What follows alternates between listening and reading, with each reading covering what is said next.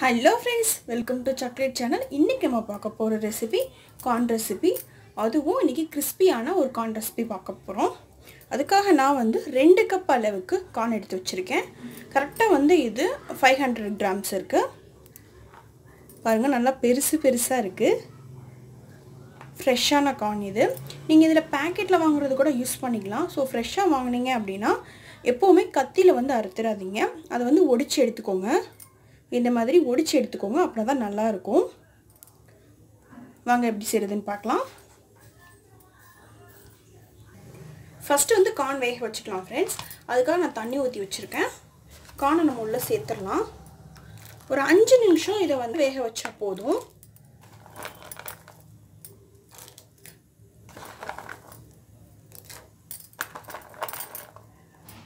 Already வந்து தண்ணி நல்லா சூடாக தான் இருக்குது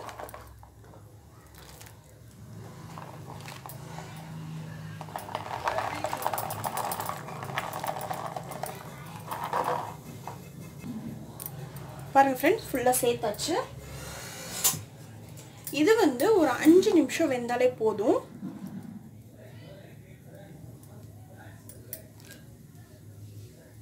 அப்போ இது வந்து வெந்து ரெடியாகட்டும்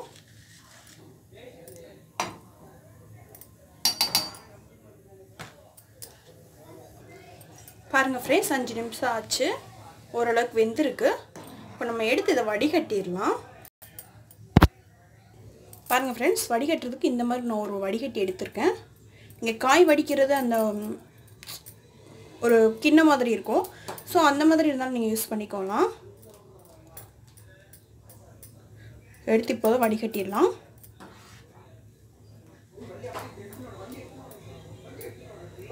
இதே நீங்கள் பேக்கெட் வந்து பேக்கெட் கான் யூஸ் பண்ணுறீங்க அப்படின்னா உங்களுக்கு ரொம்ப ஈஸி பிக்க அவசியமே இருக்காது. இதே நீங்கள் ஃப்ரெஷ் கார்ன் அப்படியே வாங்கிட்டு வந்து நீங்கள் பிச்சு யூஸ் பண்ணுறீங்க அப்படின்னா கொஞ்சம் ஒவ்வொரு நேரம் வந்து முழுசாக இருக்கும்போது பிக்க வராது. ஸோ அந்த கார்ன் வந்து இப்படி ரெண்டாக உடச்சிட்டு பிச்சிங்க அப்படின்னா உங்களுக்கு ஈஸியாக இருக்கும். ஃபுல்லாக வடிகட்டிடலாம். பாருங்கள் ஃப்ரெண்ட்ஸ் நல்லா வடிகட்டி எடுத்துக்கிட்டாச்சு. ஆறிடுச்சு. இப்போ இதுக்கு வந்து கோட்டிங் கொடுத்துடலாம். அதுக்காக ரெண்டு டீஸ்பூன் அளவுக்கு அரிசி மாவு எடுத்து வச்சுருக்கேன். அதையும் உள்ளே சேர்த்துக்கலாம். அப்புறமா அஞ்சு டீஸ்பூன் அளவுக்கு சோளமாவை எடுத்து வச்சுருக்கேன். இதை வந்து ஃபஸ்ட்டு ஒரு மூணு டீஸ்பூன் அளவுக்கு மட்டும் சேர்த்துக்கலாம். சேர்த்துட்டு இதை கலந்து விட்டுறலாம் ஃபஸ்ட்டு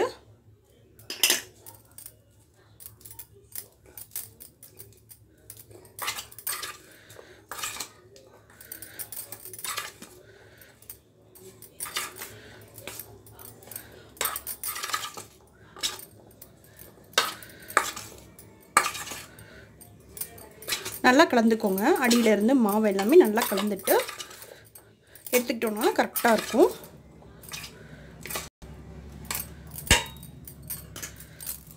கொஞ்சம் கலக்க கஷ்டமாக இருந்துச்சுன்னா இந்த மாதிரி லைட்டாக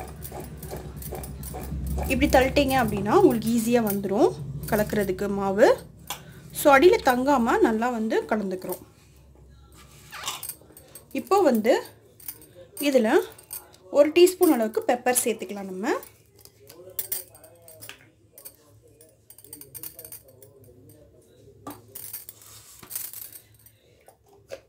நான் வந்து இப்போது ஒரு கால் டீஸ்பூன் அளவுக்கு தான் சேர்த்துருக்கேன். அதுவே கரெக்டாக இருக்கும். இப்போ இதில் கொஞ்சம் உப்பு சேர்த்துக்கலாம். ஒரு அரை டீஸ்பூன் அளவுக்கு உப்பு சேர்த்துட்டு நல்லா மிக்ஸ் பண்ணி விட்டுடுங்க.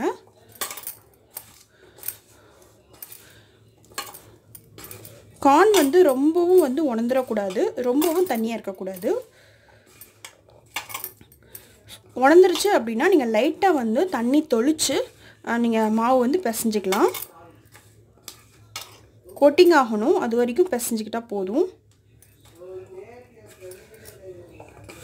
அடியில் இருக்க மாவெல்லாம் நல்லா மேலே இழுத்து விட்டுடலாம்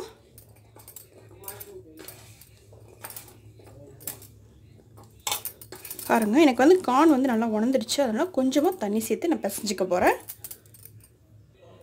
பாருங்கள் ஃப்ரெண்ட்ஸ் லைட்டாக வந்து தண்ணி தொளித்து பிசைஞ்சாச்சு. ஓரளவுக்கு கொட்டி பிடிக்குது. இப்போ மிச்சம் இருக்கிற மாவையும் உள்ளே சேர்த்துக்கலாம். இதில் வந்து நான் வந்து ஒரு டீஸ்பூன் அளவுலேருந்து ஒன்றரை டீஸ்பூன் அளவு மட்டும் சேர்க்க போகிறேன்.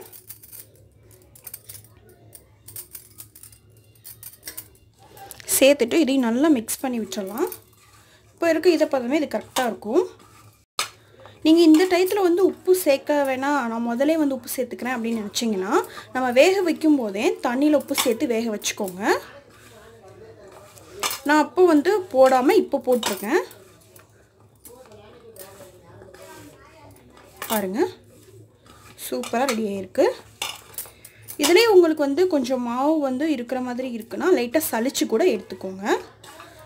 பாருங்கள் அடியில் மாவு தங்கின மாதிரி இருந்துச்சுன்னா நீங்கள் சளிச்சு எடுத்துக்கலாம். பாருங்கள் ஃப்ரெண்ட்ஸ் இந்த அளவுக்கு கலந்திங்கனாலே கரெக்டாக இருக்கும். இப்போ நம்ம பொறிக்கலாம். எண்ணெய் வந்து சூடு பண்ணி வச்சுருக்கேன். பாருங்கள் இப்படி ஒரு சோளத்தை வந்து போட்டு பாருங்கள் ஃப்ரெண்ட்ஸ் போட்ட உடனே இந்த மாதிரி பபிள்ஸ் எழுமணும் அப்படின்னா கரெக்டான சூட்டில் இருக்குன்னு அர்த்தம். அதனால நம்ம கொஞ்சம் கொஞ்சமாக சேர்த்து பொறிச்சு எடுத்துக்கலாம். உங்கள் பேன் வந்து எந்த அளவுக்கு பிடிக்குமோ அந்தளவுக்கு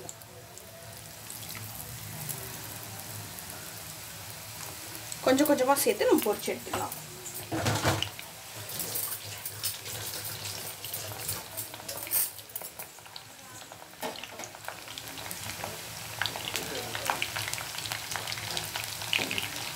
நல்லா பொன்னீர் ஆகிற வரைக்கும் பொரிச்சு எடுத்துக்கோங்க. பாருங்க.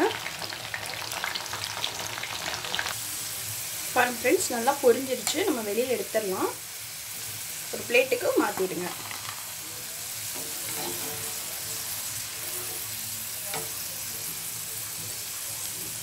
சூப்பராக நல்ல பபிள்ஸ் மாதிரி பொது பொரிஞ்சிருக்கு.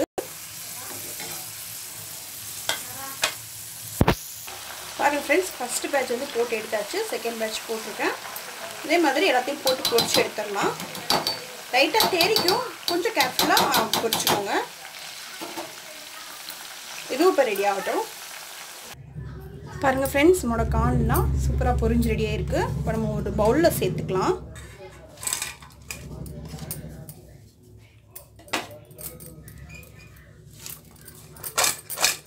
பாருங்கள் எவ்வளோ கிறிஸ்பியாக இருக்குது அப்படின்னு சவுண்டு கேட்குதாங்க கேட்கும்னு நினைக்கிறேன் உங்களுக்கு. பாருங்கள்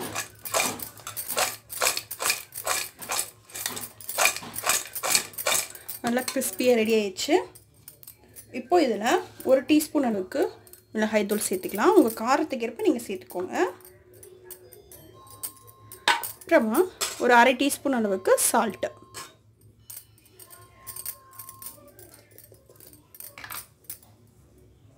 அரை டீஸ்பூன் அளவுக்கு பெப்பர் பவுடர் அரை டீஸ்பூன்லேருந்து கால் டீஸ்பூன்லேருந்து அரை டீஸ்பூன் அளவுக்கு சேர்த்துக்கலாம்.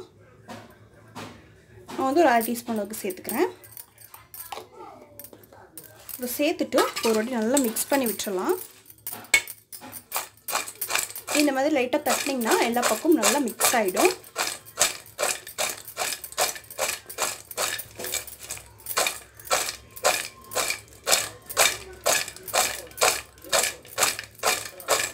இப்போ வந்து ரொம்ப கஷ்டப்படாமல் லைட்டாக வந்து இப்படி லைட்டாக கலந்து விட்டுருங்க ரெண்டாவது.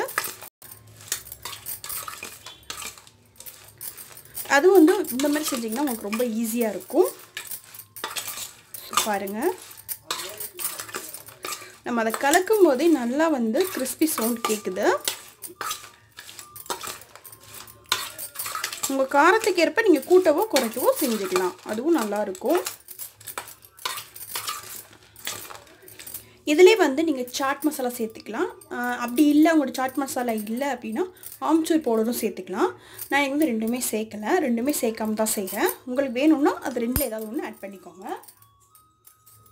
அதுக்கப்புறமா ஒரு அரை எலும் லெமன் வந்து புளிஞ்சிக்கலாம் லைட்டாக புளிஞ்சாச்சு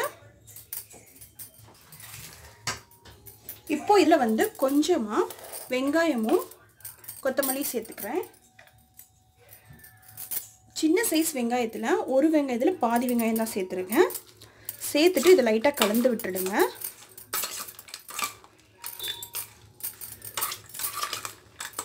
அந்த லெமன் கூட நல்லா மிக்ஸ் ஆகணும்.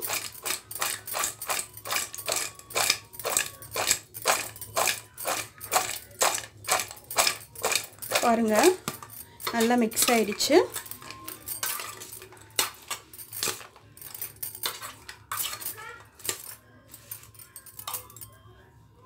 அவ்வளோதான் ஃப்ரெண்ட்ஸ் ரெடி ஆகிடுச்சு இப்போ நம்ம ஒரு பிளேட்டுக்கு சர்வ் பண்ணிடலாம் அப்படியும்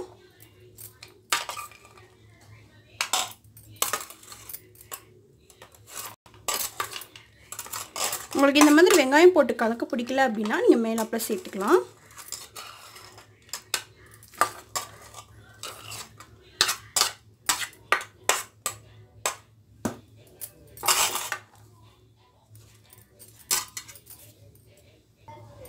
பாருங்கள் ஃப்ரெண்ட்ஸ் சூப்பராக ரெடியாக இருக்குது கொஞ்சம் டெக்கரேஷனுக்காக நான் ஆனியன் வச்சுருக்கேன்.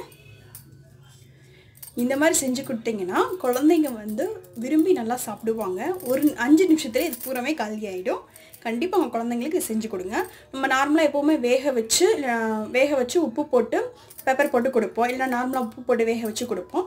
அந்த மாதிரி பண்ணி சாப்பிட்டாலும் நல்லாயிருக்கும் இந்த மாதிரி பண்ணி கொடுங்க. உங்கள் குழந்தைங்க வந்து ரொம்ப ஜாலியாக என்ஜாய் பண்ணி சாப்பிடுவாங்க.